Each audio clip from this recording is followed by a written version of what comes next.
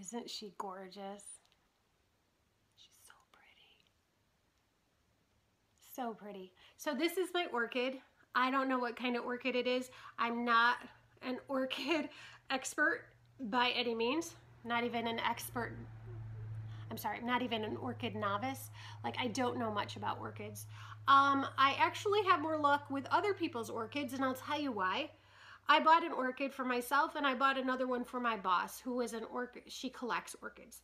So we had both of them in the office getting the same light. I took care of both of them. Mine died a slow, painful for both of us death. Hers bloomed every six months. It was gorgeous. And I have no idea why. They had the same everything and so I took care of both of them. I don't know. But orchids are actually beautiful.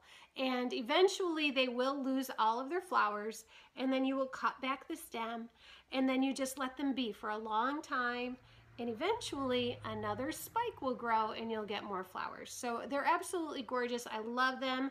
They are they are not too excited to get too much water. So this is literally what I water my orchid in once a week. That's all it gets. And so far so good. So far, so good. Keep our fingers crossed.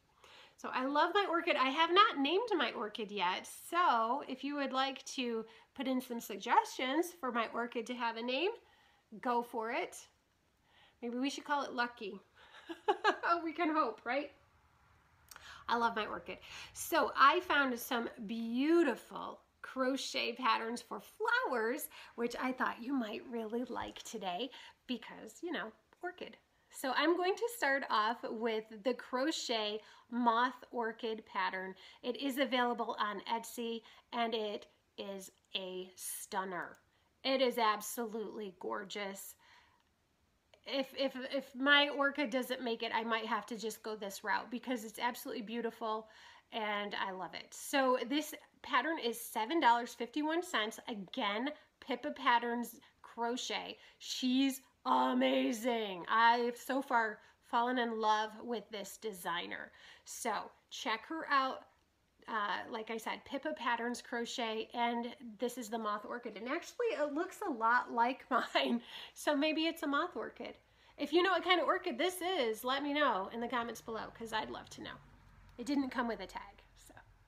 Okay, next pattern idea coming up. Okay. The next flower I have is just super funny. I think it's hysterical. I think you're going to think so too. So this is like, uh, I don't, it, they call it a man-eating plant. To me, it looks like a Venus flytrap, but I love that it's eating the man.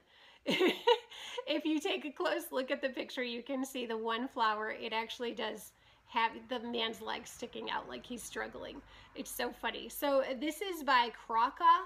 That's the name of the store. It is a $5.54 pattern and it is absolutely hysterical. I love it. I think it's so funny. My son saw it and he's like, Mom, you've got to make that. okay, we've got one more pattern left and it is another orchid. So let me just grab it here.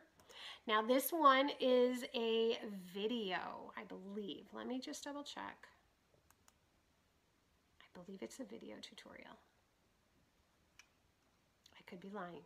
I hope I'm not. I could have sworn it was a video. Okay, it is a video.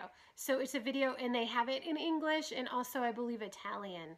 So um, the links are right there. Um, just scroll down until you find English though. There's part one and part two. It is absolutely beautiful.